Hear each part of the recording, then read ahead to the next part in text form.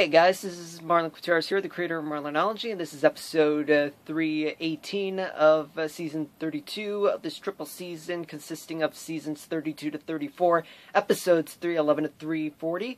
And uh, right now I'm going to be debating with Nolram Soretniuq. So today I'm going to be asking him five questions regarding about politics for this year. So, Nolram, it's nice to meet you. Well, it's my pleasure to meet you, Marlon.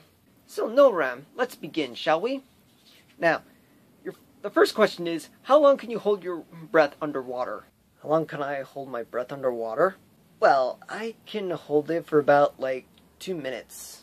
Thank you. Now, the second question is Who is Ron Paul Ryan Reynolds Wolf Blitzer? What the fuck? I have no idea who, who those people are, honestly. Like, is, is it just one name, or is it just, like, a bunch of names? Thank you. Now, the third question is, where is Bora Bora? What, what kind of question is that? Like, I don't even know where Bora Bora is, but I thought we were talking about politics. Thank you. Fourth question is, is Atlantis a continent? Are, are you serious right now? Are you are you serious? Are you are you asking rhetorical questions, or are you just asking stupid questions? Like, just try to piss me off today. And finally, why is the sky blue? The sky Okay, yeah, okay, yeah, you suck. And a bonus question.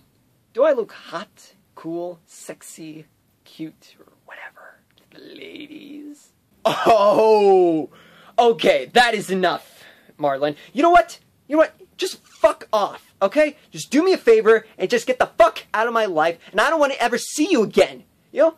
And just so you know, like, the reason why I only came here, it's because I got bored, okay? I got bored because, uh, like, there's nothing left for me to do, and other than being the opposite of you. you know what? You can go fuck yourself, like I said. You know what? I'm just gonna go head down the door, and right now, I'm acting all pissed off right now, so you might as well just, uh, like, just, you see that window on your left? Guess what? You're gonna have to jump off that cliff because your worthless life doesn't mean anything. Not even mine.